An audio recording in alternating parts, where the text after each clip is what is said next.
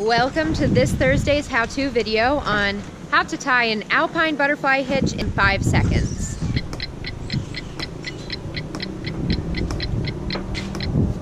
Ding, ding, ding, ding, ding.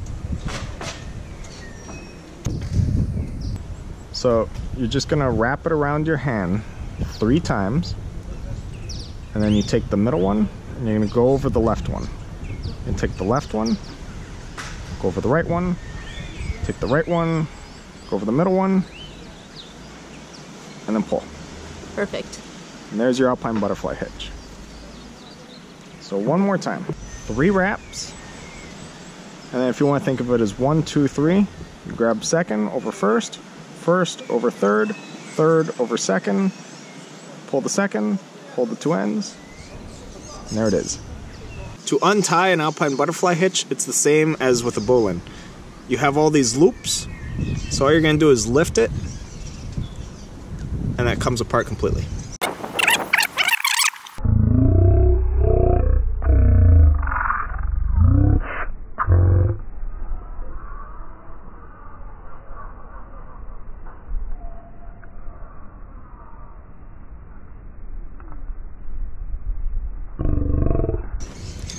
So if you've tied it correctly,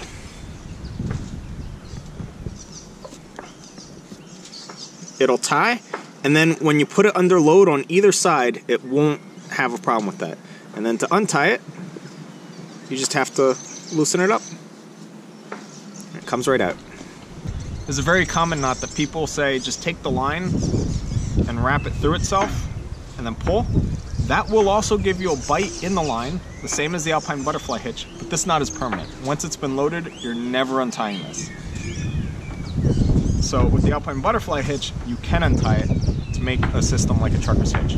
The Alpine Butterfly hitch is great if you ever need a bight in a line that can also be untied.